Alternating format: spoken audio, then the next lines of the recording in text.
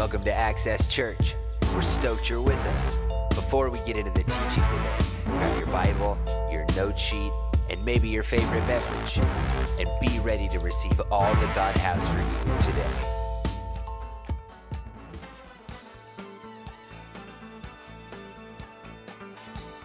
All right, so uh, we're doing official interviews here on Easter. How do you feel about how your kids are doing as far as getting Easter eggs? You feel like that they're they're doing a good job, they're, taking their time, you know. which is good. They're being patient. Yeah. being patient. Did they train it all for this? Did you No. train them or coach them or? Uh, they knew there would be eggs today, so he's been talking about it all morning. Yeah, yep. That's the exciting thing. So they're doing good. So happy Easter. Happy Easter.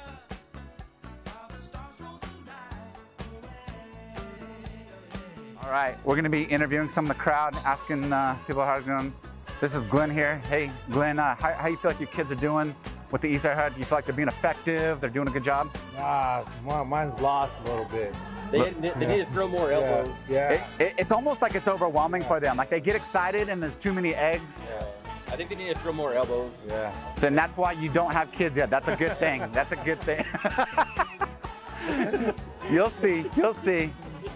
Yeah. There you go. Are you guys are you guys ready though? You stretched out. You ready for the adult competition? Oh, I, didn't, I didn't know there's. That, that's It's that what it is? So if you guys want to just stretch out, make sure the hammies are good. Got it. So yeah, don't want anyone. you are gonna throw elbows, huh? You are. Be careful this guy. Be careful this guy. All right, let's let's talk to other people.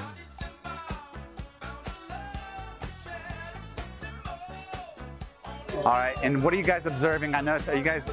Who, who are you observing right now? What's I'm going on Observing my granddaughter.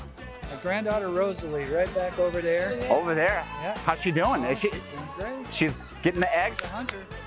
She is nice. She is a hunter. There she, She goes. looks like a hunter in that beautiful dress that she's wearing. All hunters wear colorful dresses. So, uh, a proud grandparent moment, seeing the kid run around, have some fun. So cool. And uh, how's, how's you have you have an effective team out there. you have so many kids. Did you kind of have them plan to dominate this thing, or how do you feel like your kids are doing? They're doing okay, actually. They're the ones that planted the eggs, so they have that advantage. It, it helps to grow up in church and be a church kid. You get insider information of where all the eggs are. So, yeah, they're having a good time though out there. So, all right. These are all the adults right here who will be in competition pretty soon. That'll be funnier to see them run like the little kids. Uh, we got some stretching going on here. It's gonna get it's gonna get serious. I got my family over there. I have high expectations for my kids. Do not disappoint me on Easter. Well, uh, no, you know, let's just not hurt ourselves today. Let's not hurt ourselves today. So, super fun Easter. Couldn't ask for anything more. Beautiful weather, lots of eggs. And of course, what we're going to be getting to is the main message of Easter, which is Jesus is risen. Uh, can't ask for anything more. So, Here we go. Sing whoa. Whoa. Whoa.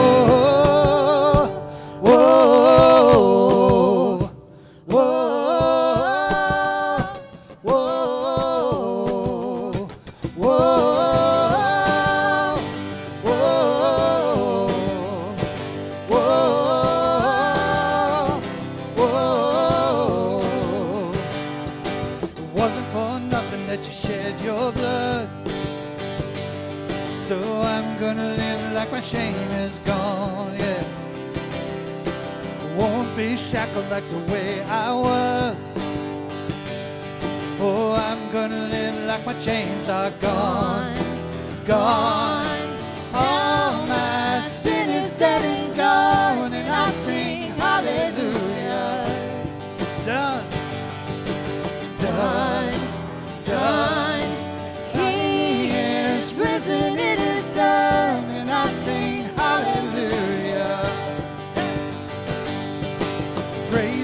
weapon that will overcome. Oh, I'm gonna shout like the battle's won. Yeah.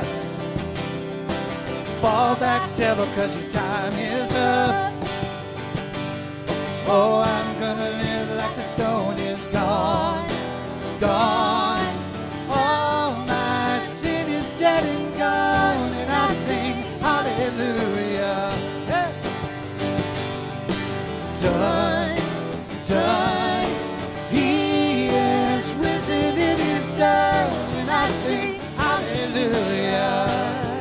This out. How great, how great is the power of the blood. Yeah. Oh, oh, I am, I am the righteousness of God. Oh, oh, sing how great, how great is the power of the blood.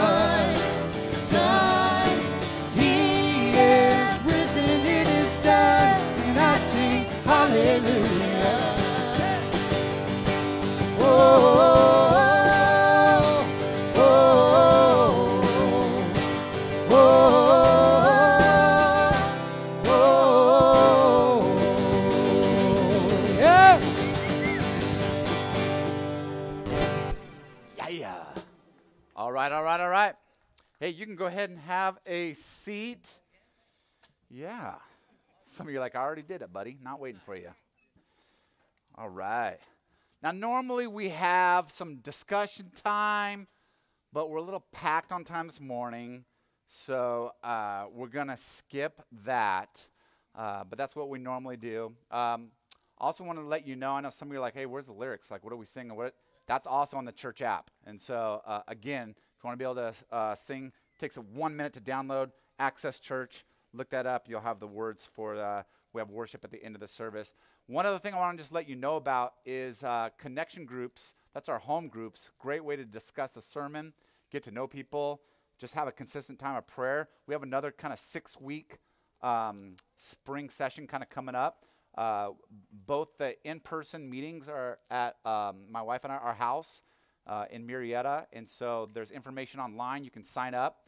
And so uh, we're off this next week, and then we start the week after. And so if, uh, if you, that's something you want to do, feel free to sign up. We're looking forward to that. When it comes to our needs, there's only a few things we need, right? To survive, what do you need? What do you need just to live? Air, yeah. Maybe I should have put you guys in discussion groups. or you guys are a little bit exhausted from the Easter egg. I can tell you're kind of recovering. Heart rate's coming down. Air,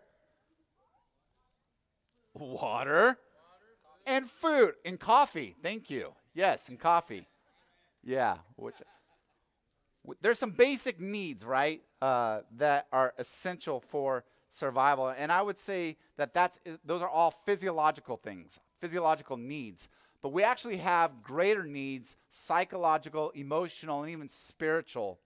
And I would say that those needs that the Bible talks about, that God would say, the way I wired you, you have these needs. And it's really two that all of us in a great home would grow up with so that we have a solid foundation. And, we, and when these things lack, we're actually malnourished emotionally and spiritually and relationally. And that's love and hope. Love and hope. Humanity's based on that. You see that in areas where there is no hope, that there's chaos. Right? You see that our behavior begins to deteriorate when there's no hope. Some of us grew up in environments like that. Uh, I lived all over California. I've lived in some areas where it lacks hope. It lacks financial hope. Uh, I lived in South Bakersfield, which was financially incredibly depressed at that time in the late 80s, and there wasn't a lot of hope. Why were people getting into gangs? Why were people doing drugs? Because when you lose hope, you lose life, right? And so you literally see people deteriorate relationally, psychologically, spiritually, and emotionally. And the same thing with love. Any of us that grew up in a home that lacked love, you could tell that it left, it left a gaping hole. Even if you kind of can put up a good front to people, you knew what was going on inside. And those of us that grew up in a home with amazing love, it really built a solid foundation. It, it met our needs spiritually, emotionally, and relationally. This is what I love about Easter. Easter is the full embodiment, the full embodiment of God's love through the cross and hope through the resurrection. This is why Easter is so important. It is a full embodiment of what we need emotionally, psychologically, and spiritually. Through the cross, which absolutely anchors God's love for you. No matter what you're going through, you feel disconnected. You feel like I'm not worthy to be loved. Uh, all these things that go through our heads, He beats the lies with the truth of the cross. The cross is the anchor for all of us. You take out the cross in society, you take out the ability to really define love, and it becomes selfish rather than selfless. And what he wants us to know is for you to love each other, you first have to know that I loved you and I show you how to love, and you need to let me love you so that you can love others well. When people lack love relationally, a lot of times they want to work on. it. I said, no, no, work on your relationship with God, and it'll automatically help in your relationship with others. That's our greatest need. But today, what we celebrate is the empty tomb, the resurrection, which is so important. Remember last week we talked about the message of the cross, what Jesus said? You remember his words? It is what? Finished. He says, It is finished. The message of the cross is, It is finished. Fear of death is finished. Disconnection from God, where you got to go to a, a priest who has to do sacrifices for you and animals pay the price for your sin, that is finished. It's a personal relationship. And rather than just being around God, now God is going to be in you, not just around you. It is finished being disconnected from God. Back to relationship, back to union. And so the message of the cross is it is finished, but the message of the empty tomb is it is just the beginning now. It is just the beginning. Now the fun starts. Now, the resurrection, the resurrection was foreshadowed hundreds of years earlier. This should not be a surprise. But again, as human beings, we're always surprised, right? People foreshadow things all the time. I don't know if many of you remember the financial crisis back in 2008, 2009. What was amazing is if you were listening, people were foreshadowing of this is going to crumble, this is going to crumble. But nobody listened. Nah, it's never going to crumble. As human beings, we're not good at hearing truth that is foreshadowed. And that's what the Bible does. The Bible says, listen, there's a foreshadowing of not just what is today, but what is to come. Listen. It's not popular to listen to truth, but it will save you, not just financially, but spiritually, emotionally, and relationally. King David talked about it several hundred years before in Psalm 16. The prophet Hosea uh, wrote about it in Hosea chapter 6 about the resurrection. Jonah illustrated it right? In the belly of the well, spit out after three days. That was a foreshadowing of what is to come. And then Jesus even said, Hey, I'm going to die, but I'm going to be resurrected on the third day. And the response of the disciples were, No, you won't. Again, when truth is given to us, sometimes we have a hard time accepting it. But it wasn't just prophesied, it was verified, which is really important. This is what separates Christianity from all other mythologies. I remember in college, than putting Jesus and Christianity into mythology. But it's usually done by professors that, first of all, never read mythology or even the Bible. They had little inklings of it, but mythology is written in a certain style. Of you that have studied it or that enjoy reading it, it has a certain style, the way that the gods interact with people, right? Which is not very relational, which is not very loving. It's kind of a very um, dysfunctional relationship between the gods and people, right? The Bible's very, very different than that. Also, things are never verified. When you think about mythology, it's cities that we've never heard of or gods that's never been seen, or it's just kind of like people make things up. Same thing with, uh, you know, modern day religion that are made up, right? In secret. Well, nobody knows about this, but I had these special glasses or I had this special insight and it was done in the desert and never verified, never completely different. The resurrection, just so you know, is not just prophesied, it was verified. You see, God's very meticulous. He's not an idiot, He's pretty meticulous.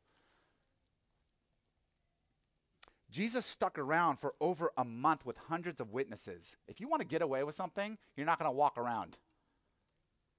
And here's the thing, he was he was witnessed by people that weren't even his followers. It's not like he just went around in a little group. He opened himself up. And think about that. He was resurrected, yet there were still people that didn't follow him. Many many of us are like if I could just see God, then I'd believe. No you wouldn't. Thousands of people saw God and they didn't believe. That's why Jesus is going to say in John 20 after his resurrection, when uh, there's a skeptic about his resurrection, he has some words about that and about how we live today. In John 20, if you want to open your Bibles, again, you can do it through your app or if you have this thing called an actual paper Bible, they still exist, you can open that. We're in John, and if you haven't been following us, we went through a, a, biography of the life of Jesus over the last several months, and it's been great as we kept our eyes kind of focused on Him, not on just all the chaos that's going around in our society. We're like, what if we focus on Jesus rather than the things going on in this world? And for many of us, it's been amazing to do that. And we encourage you to keep doing that in your life. But we're going to wrap up John today. Our next series, we're really excited about. The elders and I just had a meeting. We're like, what do we want to talk about? What do we want to go through? And we're going to do a series on focusing on Old Testament and people of faith in the Old Testament, looking at kind of the good, the bad, and the ugly of people that walk with God and seeing what we can learn from them uh, as far as uh, what they did well and the reality of what they didn't do well. And so we're going to kind of learn from people and their journey with God over the next few months. So I just want to give you a heads up on that. But for now, John 20, the tomb is empty. Jesus is appearing to different people. And I love the honesty of John here. It says, Now Thomas, also known as Didymus, one of the twelve, was not with the disciples when Jesus came. So the other disciples told him, We have seen the Lord. But he said to them, Well, unless I see the nail marks in his hands and put my finger where the, where the nails were and put my hand to his side, I will not believe. Isn't that incredible? This is one of the disciples. This dude saw Jesus do amazing miracles. But sometimes it comes to a point in our walk with God where we just don't believe God can do that miracle. I believe God up until this point, but then not into that point. It's got to blow our mind. Like he hung around Jesus. He knew what Jesus was all about. He heard all the sermons. And he's like, nah, I don't believe it. And then it says, well, a week later, a week goes by, and his disciples are in the house again, and Thomas was with them. And through the door, and though the doors were locked, actually, Jesus came and stood among them and said, Peace be with you. Then he said to Thomas, check this out. How dare you, you stupid idiot, for not believe. Oh my gosh, my Bible says that. I think I. You see, in mythology, if any of you read it, right, ancient Greek mythology, what happens when you begin to doubt a god? you, you, you die, right? Or they do bad things to you. You don't mock God. This is the humility and the love and the difference of Jesus because in mythology, gods aren't supposed to be questioned, they'll decimate you. You might have questions about God. You might have questions about life, and He'll sit with you eye to eye and say, Ask those questions. But here's the thing make sure you're ready for answers. There's a difference between a skeptic and a cynic. A skeptic wants to know truth, but will question it. A cynic doesn't want to know truth, they don't want to believe truth. They're rebellious. And we live in a very cynical society, not a skeptical one. And that's why the cynic always remains the fool, where the skeptic learns and is humble and is willing to change their mind as they engage with truth. Jesus saw this in Thomas, and he said to Thomas, Go ahead, put your finger here. See my hands. Reach out your hand and put it into my side. Stop doubting and believe. And then Thomas said to him, My Lord, my God. Then Jesus told him this, and this is an encouragement for us today. Because you have seen me, you have believed. And look what Jesus says Blessed are those who have not seen and yet have believed. Blessed are those who have not seen and yet believe. The reason is because our eyes can be deceptive. I don't know if you noticed that. Some of you are like, why doesn't God just appear? Because your eyes can be deceptive. right? We're deceptive by how we see people, right? If they appear to look good or to look put together, we think they're put together, right? If they appear to drive a nice car and have nice clothes, we think they're rich, even though they could be in a total, um, you know, crazy debt. We're, we're so deceived by appearance. You, you see this as far as how even people are elected. You know what changed modern election? You know what changed it years ago? Television, the first debate. Because it was the appearance of someone put together, not the substance if they had it together. And from then on, most people vote just on appearance. They're nice. Oh, they're funny. Oh, they look like a good person. How many of us romantically got caught up by that? Ah, they look like they're a good person. Oh, they look like, what the heck did I just start dating? right? You see, our, dis- our eyes are the worst way to have faith. Jesus put something in our souls that that's the best way. And the soul can understand truth and lies. Now, it might not accept a truth or a lie, but it can understand. And so Jesus says, Blessed are those who they know the truth. I don't have to see it because my eyes can deceive me. So, what do we do with this? This prophecy, this ver- verification of Jesus. The writer in Hebrews talks about what do we do with this? What, is, what does the resurrection really mean rather than just a religious celebration once a year where we get super psyched, run around, get some eggs, and then do we just go back to our normal way of living? And the he- Hebrews, uh, the writer of Hebrews says this, uh, Hebrews 12, 1 through 3. He says this, let us run with perseverance the race marked out for us. How do I do that? How do I run the race of life that God has marked out for you? The way He wants you to do relationships, the way He wants you to be a missionary at work, the way He wants you to trust Him, the relationships, the different people He wants you to talk to, the different friendships. He has a, a race marked out for you. How do I stay focused on that? He says this fixing our eyes on Jesus, who is the pioneer and perfecter of our faith. For the joy set before him, he endured the cross. How? How did he endure the cross? He's, by scorning its shame, he sat down at the right hand of the throne of God. Consider him who endured such opposition from sinners, so that your heart will not grow weary and lose heart. The resurrection is the hope that no matter what you go through, there's victory in God. No matter how difficult things are, no matter how much you're beaten down, no matter the difficult road that God puts before you, the hope is that as the Holy Spirit resurrected Jesus, He will resurrect your relationships, He'll resurrect your emotions, He'll resurrect your body, He'll resurrect your ministry, He'll resurrect your marriage, He'll resurrect your friendships. You just have to persevere. It hasn't happened yet, Brian. It's been this way. This part of my life felt dead for the last few weeks, last few years, last few months, whatever it is. Keep your eyes on Jesus. He's our inspiration. That when things look darkest for him, that God had his back. And that God lifted him up.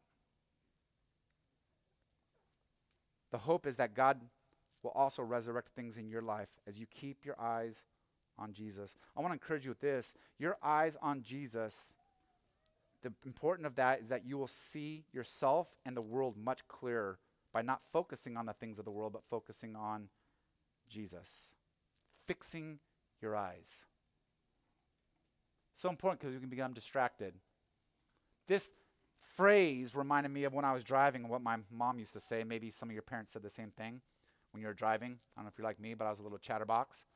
But whenever I talk to people, I like to turn and look at them. But the problem is when you're driving, you're not supposed to do that. So what did my mom always say? When I look at her, I'd start talking about something and I'd look at her while I'm driving. Put your eyes on the. Because I didn't realize, I didn't feel like it, but I'd start talking to her and I would start going to the right then. right? Or if I looked to the left, I would always move to the left. I was, where your eyes go is where your body goes. If your eyes are on the thing of this world, then your body and your life will go towards the things of this world. Fix your eyes on Jesus. Not just his love through the death, but the hope through his resurrection. Because where he is is where all of us are meant to go to be lifted up, to be resurrected, and to be eternal with him. Hope through Jesus is so important because when you have a hope through Jesus, no matter what you're going through, it gives you a passion for people and a perspective of your problems. The resurrection of Jesus, the empty tomb, gives us a passion for people and a perspective of your problems. This is what I mean. If this is our future, don't I want everybody to have that kind of a future? You see, my job is no longer than about making money. It's about I have a hope, I have a future that I want others to know about. There's an excitement there. You see, if Jesus dies on the cross but stays in the tomb, we have no hope. We know that he loved us, but he died like all of us. So it's like, well, and if there is no, eternity is so important. It is so important that that's constantly in our minds because otherwise we have nothing to live for. And have you ever met someone that has nothing to live for, how they behave?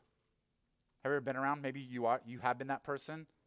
The depression or the anxiety or the frustration, you have nothing to live for. What happens? You become animalistic. What am I live for? There's no there's no future. We just we're gone. That's why I'm always blown away by people. And when I get in debates in college, I told you guys of all the debates I used to get into. I love debating atheists. I loved it. Because I'd say, well, I know there's a God because you're moral. Well, no, I just want to be a nice person. Why? Nobody's going to remember you. This is all meaningless. If we have no soul, right? If we're just humanistic, if we have no soul, why can't I be mean to you? And by the way, if you believe in Darwin's theory and all that, then the strong survive. You should be glad that I'm mocking people, making fun of people, putting them down because they deserve to be. If they can't stand up, by Darwinian theory, I'm the winner, I'm the best, and I should survive and you should die. Well, but we should still be nice, but why? Why? They can never answer that. Now, I don't know if that was a good debate because maybe they left being like, well, he's right. Why should I? Maybe that wasn't a good thing. I was trying to point him to Jesus, though. Like, bro, no. Jesus is calling you. You just don't realize it. There's something in you that says, I shouldn't be mean. I shouldn't break the law. I should. There's something in you. And that's where the Bible says in Romans, God's law is written on our heart. You just haven't attached it to Jesus yet. And it's Jesus who wants to draw you into something greater than what this world lives for. Even the good things. I'm not talking about the drugs and the alcohol and the politics and all that kind of stuff. Even the world's drawn into oh, it's all about it's all about, you know, how many kids you have or the grade point average or how healthy you are. All those good things are still distractions because they're not the primary thing. Because no matter how hard, healthy you are, guess what? Plastic surgery can't save you. Someday it's to hit. It all sags, right? All the health goes down. It happens to everybody. You got to have something more. That's what Jesus provides. You see, eternity gives purpose. Without eternity, and the resurrection of Jesus is what gives us hope for a future. But it also puts our problems in perspective. Puts our problems in perspective because in a billion years, have you asked this question? In a billion years, what I'm getting anxious about right now, will really matter? In a billion years, do I need to get angry about what's happening right now? In a billion years, what will really matter? Well, what Jesus says is, hey, here's what matters. When you stand before me, two things that matter. One is that you know me and I know you. Not if you were religious, not if you went to church, not if you gave my I will he's not going to ask you 10 questions on the Bible and see if you can get 9 10 right. And if you get an A, you get into heaven. It's nothing that. It's do I know you and do you know me? That's it.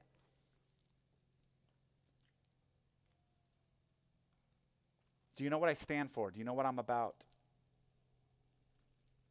And do I know you? Have you let your heart out to me? Have you shared your sins? Have you shared your struggles? Have you shared your all those things with me? He wants to be interactive. Do I know you? But the second thing is this is he says, "Hey, eternity is set on this. How well did you trust me and love others in this life?" That's what matters for eternity. He says, "I'm going to reward you based off that." That gives us perspective. That's what gave the apostle Paul when you read these letters in the Bible, when you read right 1 Corinthians, 2 Corinthians, Romans, all these that Paul wrote. And he went through all these struggles of being persecuted, of being poor. He went through all these struggles of being single, not having that partner, not being able to go to bed at night and have that person that you can be intimate with. But he gave his life fully to Jesus. In fact, he wrote in Corinthians saying, you know what, this perspective, you can get married, but then you're going to be divided and living for Jesus and having to take care of someone and think about finance, all that kind of stuff. I don't have that. And so, though the world sees that as a struggle, he saw it as a blessing because he could give more to Jesus, more mission trips, more of his life, more of his thoughts to accomplishing what God wanted him to accomplish. I think of people, and I've shown the video of him, of Nick Vujicic. Have you guys heard of Nick Vujicic? Look him up on YouTube. And how do you spell Vujicic? I have no idea. You have to figure it out. Starts with a V. Just Google man with no arms and legs who preaches Jesus. Nick Vujicic. How do you get through not having arms and legs? How do you get through that? How do you not kill yourself? Being mocked since he was a baby, being made fun of by kids because his parents instilled that Jesus resurrects all things. You'll never amount to anything. How are you going to make money? Who's going to marry you? You're not taller than any woman, right? How are you going to have kids? All these things. And Jesus resurrects. How does he make a living? By speaking all over the world, inspiring people. Married with kids now. How is that?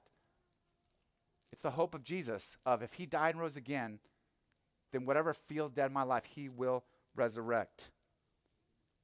This is what Access Church is about. It's about hope. That Jesus doesn't just give a new life, he gives eternal life and can be trusted. And Easter is this do not focus on an empty tomb, focus on a living God through Jesus. Focus on a living God. And if you focus on a living God, then you actually live the way He wants you to. Not being distracted, not taking your eyes off, not wandering off. Struggles will be put in perspective. And also, you'll have a true passion for people as you keep your eyes on Jesus. I hope today you are encouraged. I hope today you are maybe refocused.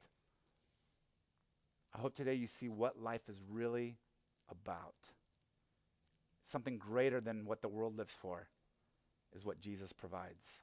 His love is fully seen on the cross, but his hope is fully seen through the resurrection. And he wants to do the same thing in your life too. We're going to take some time now. The worship team is going to come up and just to be able to reflect. It's good for us to think about maybe what God wants to speak to today, particular words through these songs, or maybe through the what we read about today. Uh, we always take communion during worship. It reminds us of God's love and sacrifice, and reminds us of what He did, but also reminds us of who we should be. That as we love, it's going to be a sacrifice, but it's always worth it. And so, if you want, with family or friends, you can take communion. Maybe you could pray together. I know for my family, we usually just say, hey, what are you leaving with today? Maybe you could talk a little bit, but you can take communion.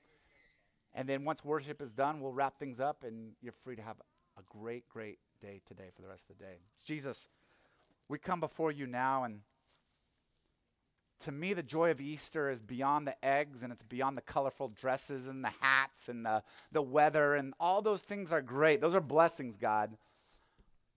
But they mean nothing without the perspective of that we are meant to live for so much more. So, Jesus, I pray that today you would instill hope into our hearts that we'd have perspective amidst our struggles that you are a God that you, takes what, you take what is dead and you resurrect it and give it life. But I pray most of all, God, that we'd have a passion for people, that the joy you give us, we would realize that the greatest thing this world needs is not educational reform, not economical reform, not political reform. We need a soul reform. And that only happens when we encounter you, that we are made to be known by you, to be loved by you, that you desire to walk with us, to live in us, to speak through us. And that's when life gets exciting. God, I pray for a resurrection of all of us here. That none of our minds would be dead, none of our souls would be dead, none of our relationships would be dead, but we'd rise up in you, allowing your spirit, your mission to live through us. We worship you, God, because you are worthy. You're not a mythology. You are real, tangible God, and we worship you because of the hope and love you give us. In your name, Jesus, amen.